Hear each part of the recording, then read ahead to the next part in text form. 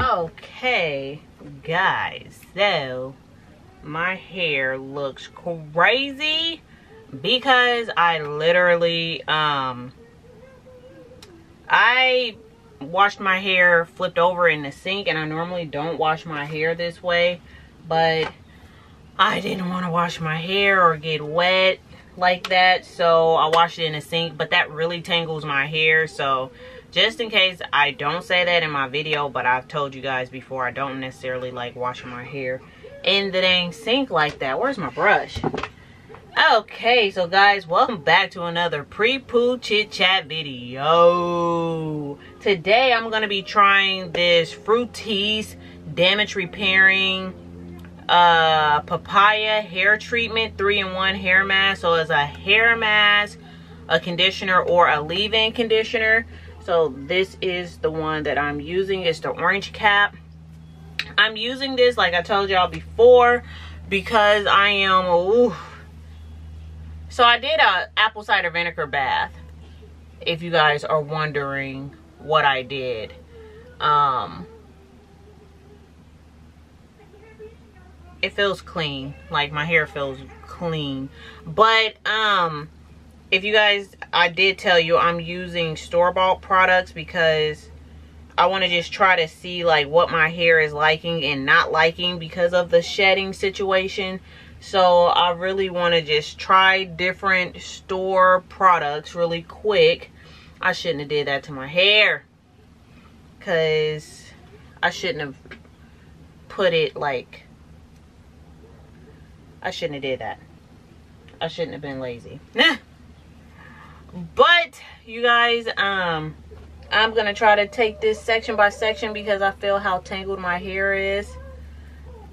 And i probably should just go in the shower and run my hair under the water and like comb it out bit by bit because i hadn't combed my hair in two weeks. And literally i'm like I had my hair up in a bun, which is probably another reason why it's so tangled because I had it in a nappy unkept bun is what I kept it in. But you guys, enough of my side rambling. I just wanted to let y'all know what I'm using and how badly tangled my hair is. Okay, this ain't the bee's knees today. Okay. So what I'm going to do with my hair is use this as a deep conditioner. But I'm not going to rinse it out because I've been feeling lazy. So I'm going to... I'm not going to rinse it out. I'm going to use it as a deep conditioner. I'm going to put my bag on there. I'm going to put my heated cap on. And then I'm going to style my hair with only putting in this clip. I'm going to make sure that it's all going downwards. Like I'm going to do a wash and go, but not a wash and go. Um, so that's what I'm gonna do with my hair. And I'm gonna see how my hair like it or mm, okay mm, okay. But this is vegan. It like has no parabens no silicone no added colors. It has actual papaya extract in it. So you know I don't necessarily trust like everything whatever. But I mean I'm gonna see you know I'm just gonna see how my hair does with it. So let's get started in this video because I rambled for too long.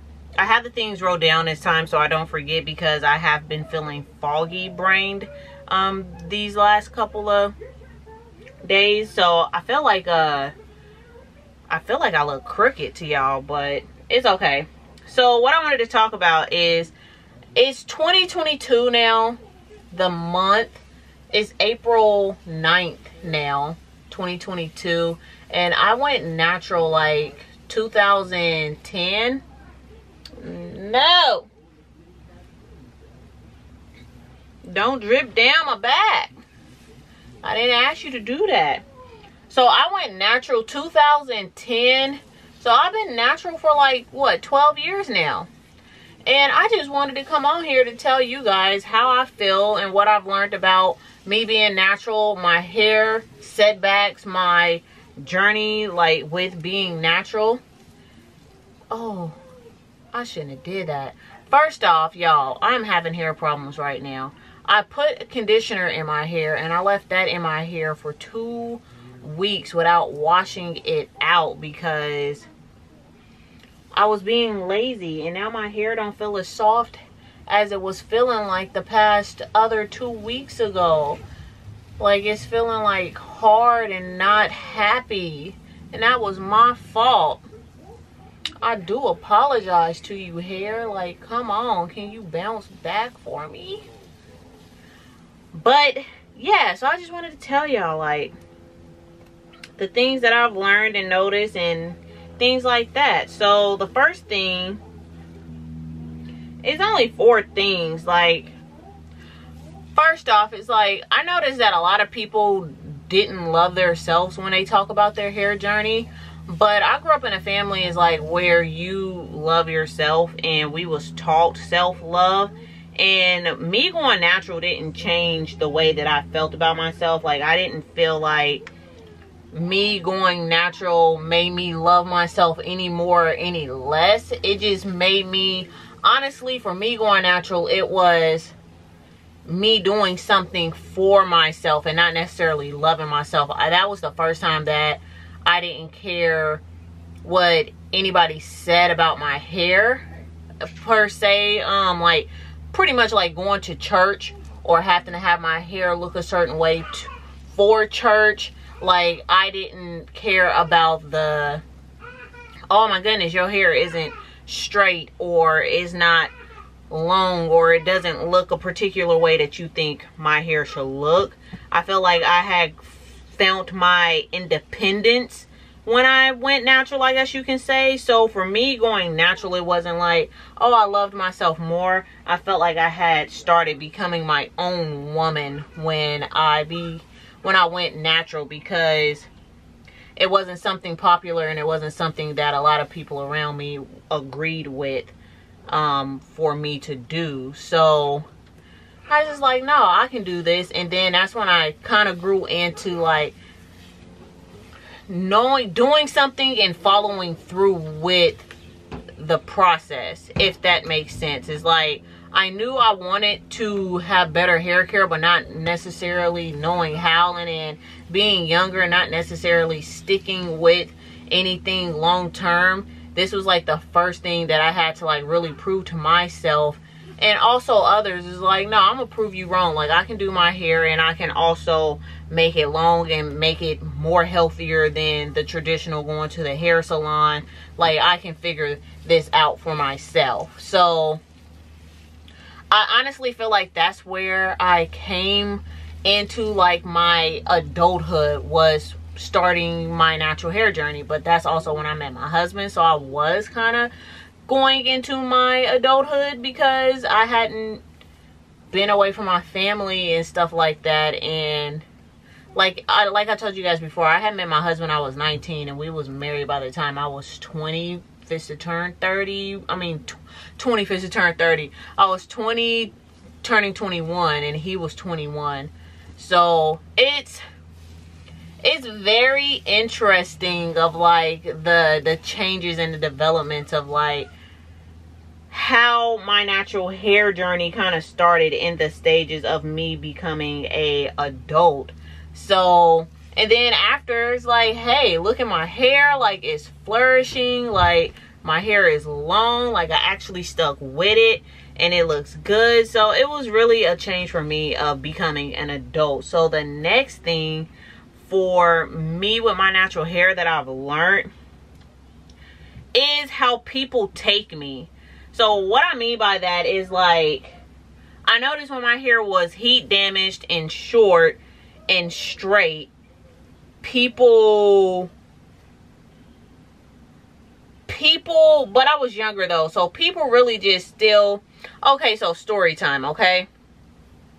I really didn't realize that I had um, damaged heat, heat damaged hair, and I didn't know that my hair could actually poof up or look like this or shrink because my hair never shrunk like that when I was heat damaged, and I never seen my hair not necessarily kink like yeah kinky nappy. Like i never seen my hair like that even though i didn't have a perm for that long. So i have worked at abercrombie and fitch and yes i'm gonna put them out saying the name and everything because i don't care. So i got hired at abercrombie and fitch and it's like this is kind of like a, a, a race story right? So i had got hired basically because i was black and i went to the job interview, she actually asked me about how do you feel about diversity in the workplace, blah, blah, blah. And I was like, you know, I like it because it shows that if somebody comes in the store that looks like me, they can actually fit the clothes, wear the clothes. And mind you, I was like 18 at the time.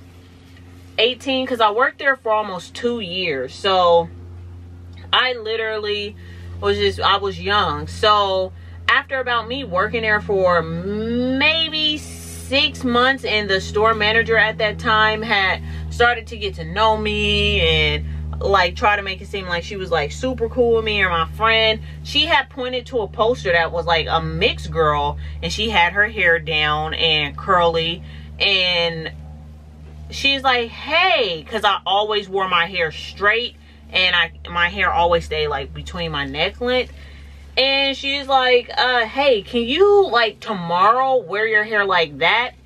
And this girl in the poster like the modeling poster if you guys been into abercrombie you know what i'm talking about but it's like these big old gray um black pictures on the wall and a lot of them were either mixed people or white people.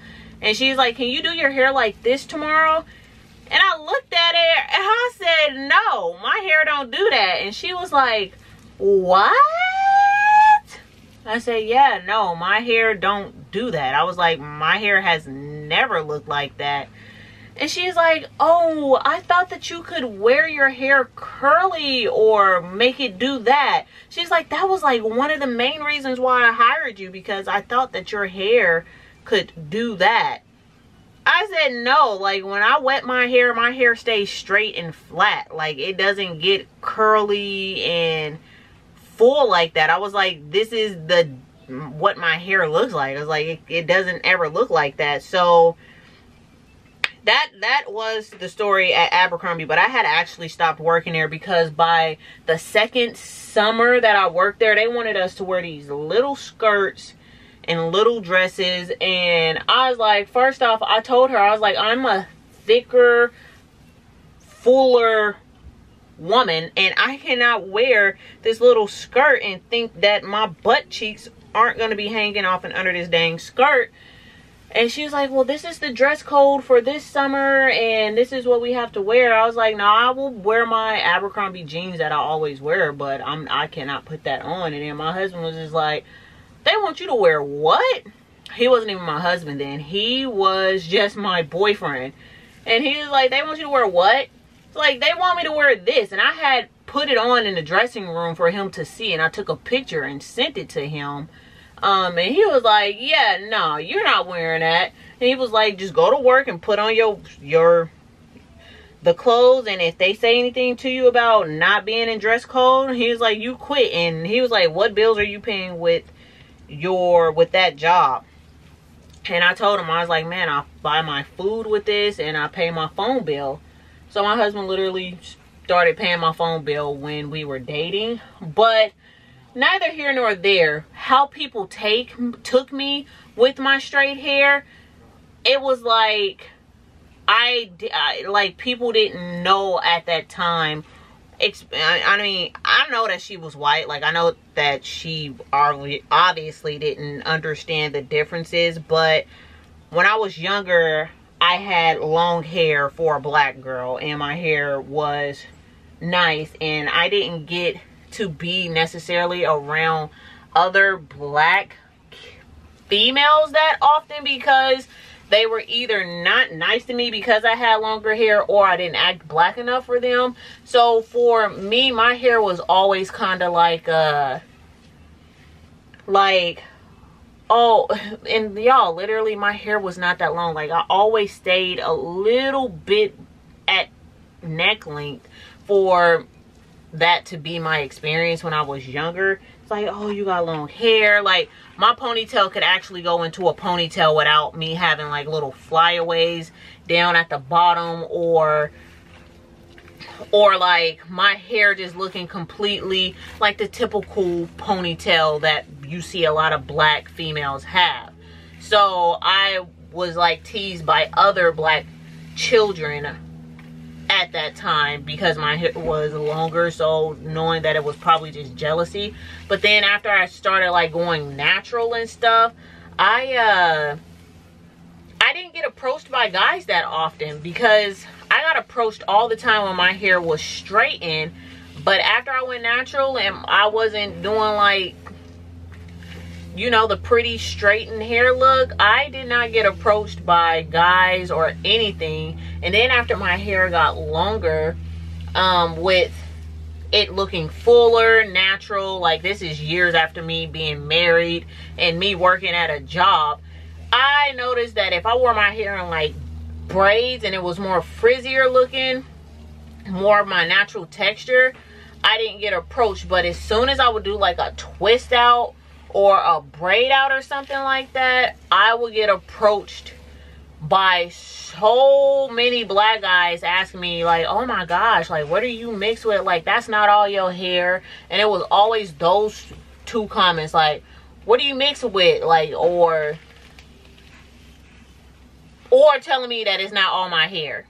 So that kind of became annoying after a while because it's like, dude, I want to enjoy my hair being out, but I really can't because I don't like the attention that I get. And then I don't want to be like, why do I have to be mixed to have long hair type of thing? Because five years into my natural hair journey, that was very annoying because it's like, where's this energy when my hair is in a big puff or is like up like it's not the same energy when it's down in a twist out with a twist and curl or whatever like there's no mixed energy questions towards me but now that my hair is this way and you see i'm the same black girl and i remember people's faces very well like especially me working at a store. Like i will see these same guys come off in the dang store and it's like you never said anything to me before my hair looked like this. So and obviously I, i'm married so i didn't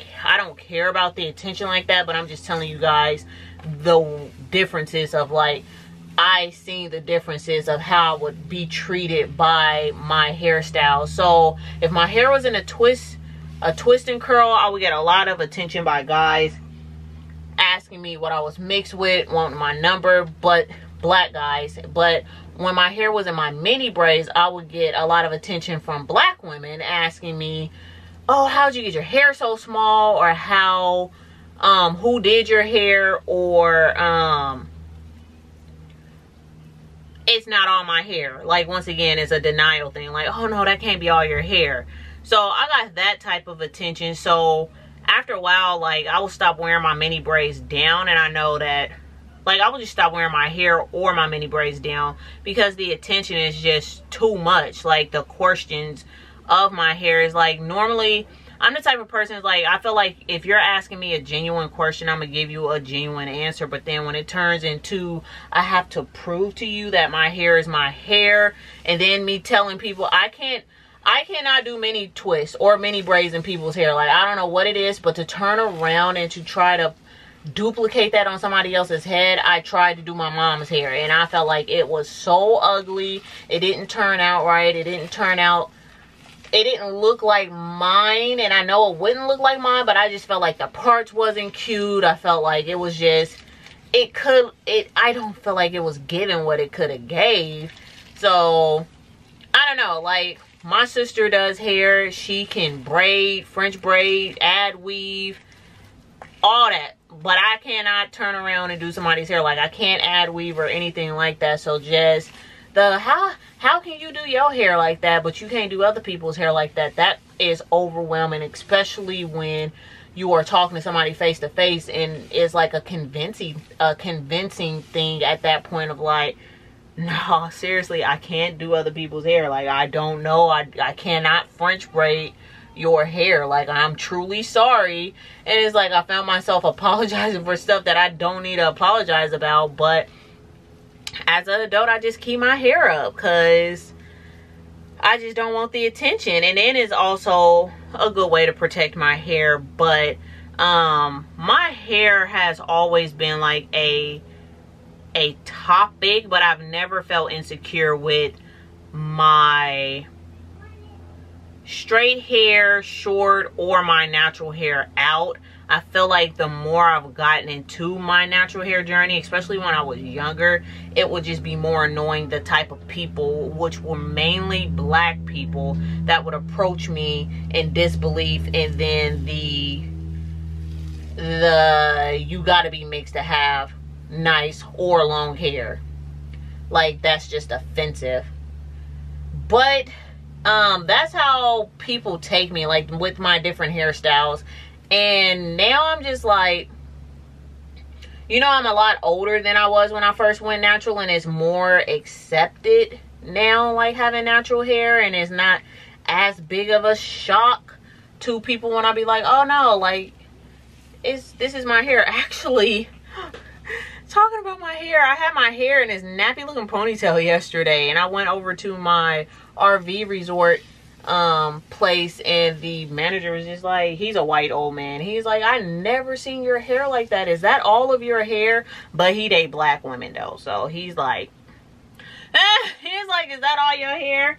And i was just like yeah like it's all my hair. He was like i've never seen it like that. He's like i've always you just either have it covered or is like pulled way back. Like i've never seen it full and up. I was like yeah it's, it's all of my hair He's like, your hair must be really long. Like, yep, it is. I just keep it away. But I haven't had a comment about my hair in a while because since the pandemic and stuff, it's kind of funny. I've just been really keeping it up and away. And with it going through its stages of shedding, like, yeah, I really don't want my hair to be out like that. But the next thing that I've noticed that since I've grown and changed with my hair has been uh, heat damage versus not being heat damaged and then the transitioning stage.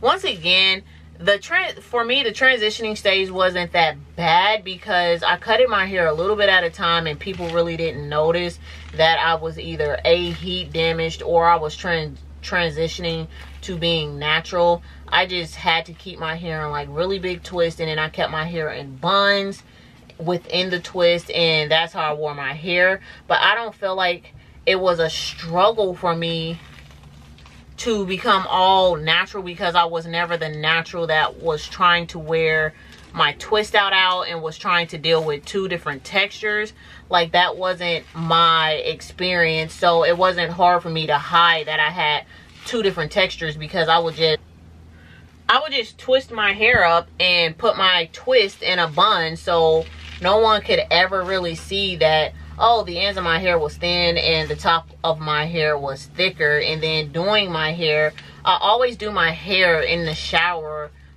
like wet. So it really didn't make that big of a difference to me doing my hair because my hair was always wet under the shower and then I'll put product on there and make sure that my hair was like getting um it was getting styled that way and it, it just made it really easy. So my transitioning stages of hair and trying to work with my two different textures I didn't feel like it was that dramatic for me because I'm not the type of person that has to do a lot with my hair and I'm fine with my hair being in a bun in a protective style. So what I mean, I like I would twist my hair like this, wet in the shower with product, and then I would literally put my hair in a bun. No problem. I'm done. like my hair is feeling a lot better. My hair was just really tangled. So I know I cannot keep my hair in that raggedy bun like that. And then hopefully I can't skip a week of me washing my hair anymore. Like I've just noticed that like if I skip two weeks of me not washing my hair, my hair is so done. It's so dry and it's pissed off. So it's feeling a lot better now. I'm gonna see how I think I might just keep them in this twist and then put this clamp on that I was saying because I was just gonna put my hair like like put the product on my hair and then just leave it down and then twist it and then clip it. I'm gonna have to show y'all another video on what I mean. But this week, no ma'am honey sugar fudge. She needs to keep a twist in her head. Oh no, my camera's gonna die. I need to keep a twist in my head, but the transitioning stage wasn't wasn't really horrible for me. But the thing that I got teased about a lot and still get bothered, I'm not bothered with it today, but the thing that I got teased about a lot was my birthmark. I never really got teased by my hair. I noticed people took me differently with my hair, but the thing that really got my goat that I wish that I could have covered up sometime was my birthmark. But after I got into like maybe the eighth grade, I completely stopped caring about getting teased about my birthmark. Like people would never tease me, like I said, about my hair. Yeah, so for me, it was always the comments about my birthmark and you guys this it really don't have too much slip in it but i mean it's like moisturizing my hair pretty pretty good. Like I'm not I'm not upset with it, honestly, this product. Um and the smell really isn't too standoffish. I mean, it's not too bad, but this is a 13 13.5 fluid ounce bottle and it's done. It's done. but oh, I'm a blurber. Don't be blur. Cause I've been blurry these last couple times I've been making these videos and I'm like I can't see. Like, I really need to, like, just get me a monitor or something to hook up. But, like, I haven't gotten all techie like that with my channel. Like, I just, I need to learn it to figure out, uh, to, like, see whatever. But, to stay on topic, so this video is only 30 minutes long. I literally only got teased about my dang birthmark. And that really made me like I got bullied about my birthmark and it made me not want to talk to that many people or have that many friends because like if I wasn't being called Mark of Buddha or Doodle Stain or something like that it was like they talked about me being super skinny. And and that was just mainly from boys and the girls was just like I wasn't loud or ghetto or sleeping around or kissing other guys. And my hair like I always held myself better than most of the girls in school. So I couldn't be off in a little clique in a game because for one I didn't want to be because you was doing too much birds of a feather flock together and ain't no hoe so I'm not fit to be what is going on here oh my goodness like when you start telling the truth, I promise you your equipment want to start freaking just acting up. No!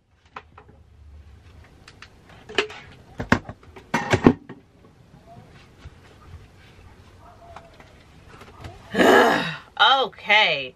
So, yeah, I'm going to say it again. I was no hoe, so I wasn't to be hanging out with girls that were fast that I knew that was sleeping around because I didn't want other boys to think that I was one of them females that you could just screw and be nasty with. And it's like, absolutely not.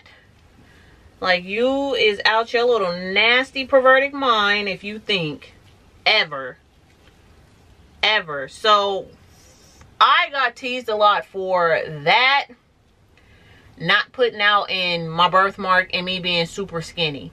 Putting out is having sex. And honestly though, because I knew my self-value and self-worth, I didn't it the only thing that really bothered me out of those three things that I got teased for in school was my birthmark. Cause it's like, it's my face. Like it's part of my, it's my face. I can't do anything about my face. But I feel like that really helped me with not, with picking someone that liked me for me and not like it took a special individual which is my husband to really like he i didn't grow up with him he really he didn't know me like that and for him to have told me that he didn't see my birthmark when he met me is like because we didn't see each other like visually like he seen five photos on my MySpace, but it wasn't like, oh, I seen you in person. Like, I know what your body looked like. This is that and the third. Like, it wasn't like that, like that. But he didn't see my birthmark. And like I'm trying to say, it's like that's the one thing that really got me in school. Like, I wouldn't cry about it or, or felt like I was ugly. I was just like, people are stupid because it's my face. I can't change my face of for nothing. Like, it's who I am. So, okay, well, you just won't be my friend because you want to tease me about something that I obviously can't change. Like, I can, I can change my hair. I can change my hair, but I can't change my face. And then covering it up with makeup. For one, my mom didn't wear makeup, so we never got into makeup. We couldn't wear makeup like that. And then when I did start trying to experiment with make makeup, makeup really made my it it made my birthmark um ashy looking. And makeup when i was 16 for black people really wasn't even that it wasn't that good. So i couldn't really find a color that matched matched me. So that's another reason why i don't wear makeup like that because my birthmark it would look extremely weird and then once i fell in love with my birthmark like i said i think i was like in the eighth grade and then by Fashionetta, I really loved my birthmark because it made me different from everybody. And I was in Fashionetta and that woman that did my makeup, she covered my birthmark up. And that's when I absolutely knew that I would never cover my birthmark up if I had makeup because it was who I am. And my brother, he came in my room and was like, who is this chick in this photo? I was like, it's me, dummy. like, don't you see my birthmark? he was like, no. That's why I'm asking you, like, who is this chick? I was like, my birthmark is right there. Oh my God. She covered my birthmark up. And it was years, it was like, I was out of high school then. And I think I did Fashionette in my junior year, junior year of summer. And it was like, I had already met my husband and everything by the time my brother came in my room and was wondering who this random chick's picture was. I was like, dog, like it don't look like me because my birthmark is gone. But I, yeah, that was, that was real bummish. It was so bummish, but it's okay. But long story short, guys, you know, I know some people get made fun of a lot worse and teased about crap, but it's like, just be secure in who you are and don't get pressured and bullied into being something that you don't want to be or somebody that you don't want to be. And even if you're doing things differently still do things different because people are only teasing you and talking about you because you are different and they hating and I would rather be different than following the crowd. And you doing what everybody else is doing literally it's not gonna get you nowhere. It it yeah man it's not gonna get you i don't know. If you're happy with being a follower then be a follower. But i'm not gonna be a follower especially when i know that it's wrong and nasty if you being nasty I don't even know, but that's what I have learned over the years of my natural hair. Um, this piece is really long. Y'all like i don't even be trying to cap but my hair is like where is she coming from? From up above from jesus christ himself. That's where it's coming from because i'm like yes hang time like oh my goodness I'm not going to put my hair in a little nappy bun like that again because my hair is not happy. And y'all, I'm being so gentle with this brush. I really am. But I am going to get off of here. I'm going to put that heat cap on my head. Um, and I'm going to sit with the heat cap on for like 45 minutes. And then I'm to just literally clip these twist up and then hopefully my hair will dry without no white stuff on it. And then I'll come back and show you guys like if my hair will really, it what it looks like. So yeah guys thank you for watching because i still have like this whole back section to comb out and it's taking me so long to comb out my hair because i'm being super gentle but it's really tangled from me wearing my raggedy bun like that i wanted to show y'all how much hair i'm losing but i don't think it's too much yeah I mean, it's more than normal because I skipped a week, but I think it has a lot of product in it though. But this is how much I've lost so far, but I don't think that's too, I don't think that's too bad. I think it has a lot of product in it. I'll try to come back on here and show you guys how much hair I've lost. Um, yeah, I'll try to come back on here and show y'all. So thank you guys so much for watching this video. Hopefully you did your hair with me girl and i know this video was probably long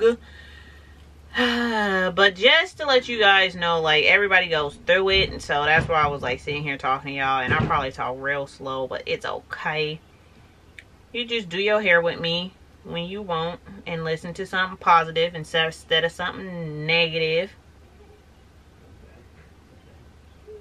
you'll be a Okay. All right, guys. Thank you for watching. Bye.